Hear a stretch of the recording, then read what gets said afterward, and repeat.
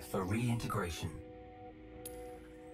Hello guys and welcome back to Puggaroo Plays. In this one I'll be showing you how I utilize the uh, user interface in, in flight mode um, when you're flying around, specifically centering on systems and subsystems, and the best way to utilize the UI to your benefit.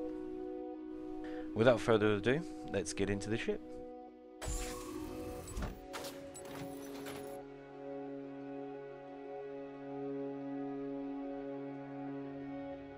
Okay, let's get to grips with the basic HUD setup. On the top left hand side you have your ship information. You've got the options for overall, heads up display. You've got weapons display, power display, and the shield display. You can quickly call for the information for any of these systems using the F1 to F4 keys. F1 is for overview, F2 for weapons, F3 for power, and F4 for shields.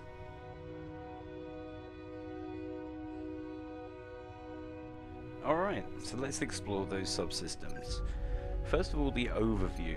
As you can see here, we can have a look at the mounted weapons we have, the lasers, the Badgers, and you can turn them on and off here as well if you wish, if you want to um, only use specific weapons for certain jobs, missions, when you're in combat as well. It's just really handy to be able to control them separately.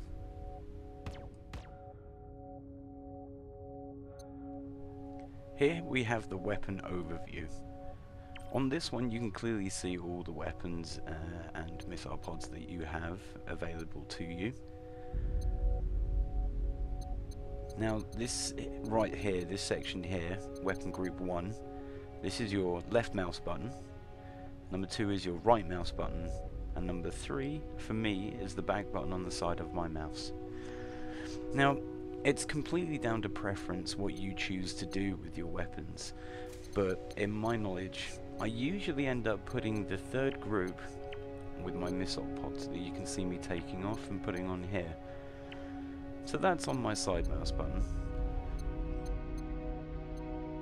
Okay, so what I do as well with the right mouse button and left mouse button is I use the right mouse button for the fixed wing weapons and the left mouse button for the uh, weapons that move around with my reticle in-game.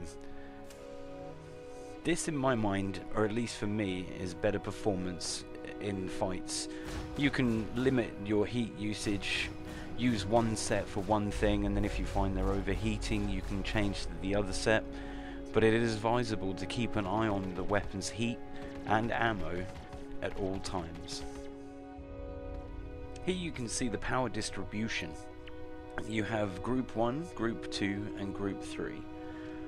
Those correspond to group 1 being weapons, group 2 being engines and avionics, and group 3 being shields.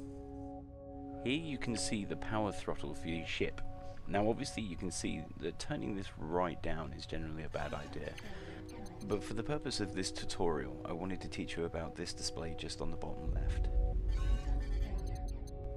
A ship's signature is a combination of electromagnetic radiation refraction properties combined with thermal and visible band radiations that combine together to form a telltale sign of an anomalous object in space.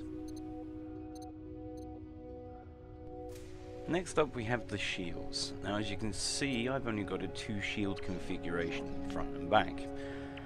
With the shields, you can directly control where your shields are being powered to. The maximum power to the rear obviously increases the shield at the rear.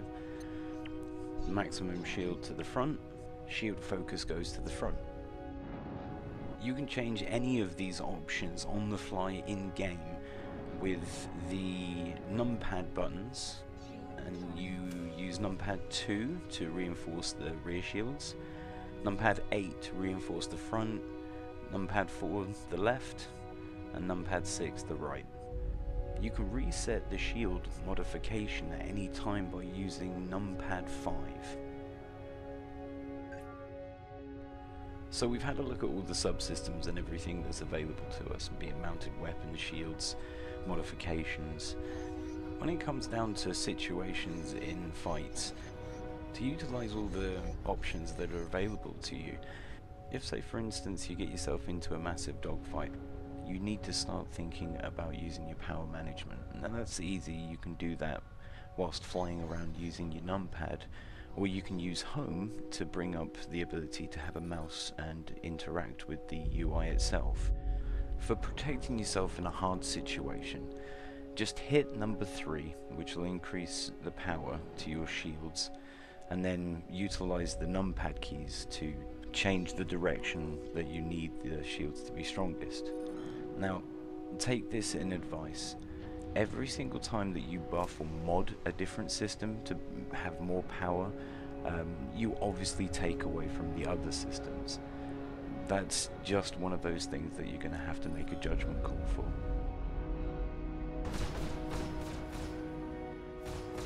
I think we are done for the basic uh, UI tutorial on subsystems. I'm hoping this helps some people and please watch in the future for other tutorials. Like, subscribe, comment. Thanks for watching people. See you next time.